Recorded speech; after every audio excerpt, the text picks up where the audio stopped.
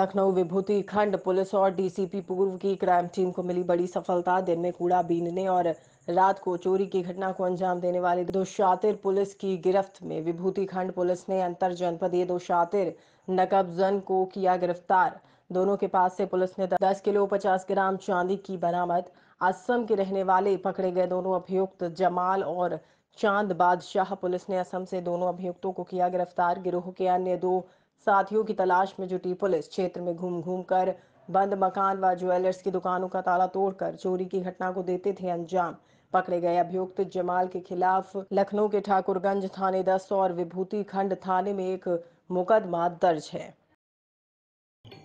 देखिए, आपकी जानकारी में लाना चाहूँगा। बीस पाँच को थाना विभूति खंड में ज्वेलर शॉप में नकब लगा करके चांदी जो लगभग बीस किलो करीब चांदी थी और लगभग डेढ़ लाख रुपया कैश यहाँ से चोरी किया गया था। इसमें additional DCP Amit DCP Vibhutikhand Anind के साथ में क्राइम टीम जो डीसीपी क्राइम टीम है, इन लोगों ने बड़ा शानदार काम किया। और जो मुलजमान हैं, उसमें से दो मुलजमान, चाँद और जमा, ये बवई गाँव आसाम से गिरफ़्तार किए गए हैं।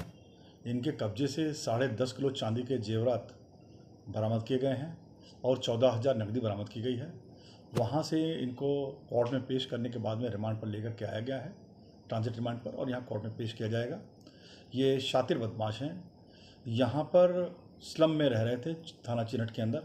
इनके दो साथी रफ़ीक और मैनुद्दीन अभी भागे हुए हैं, जिनकी गिरफ्तारी के लिए प्रयास किया जा रहा है और जल्द से जल्द इनकी गिरफ्तारी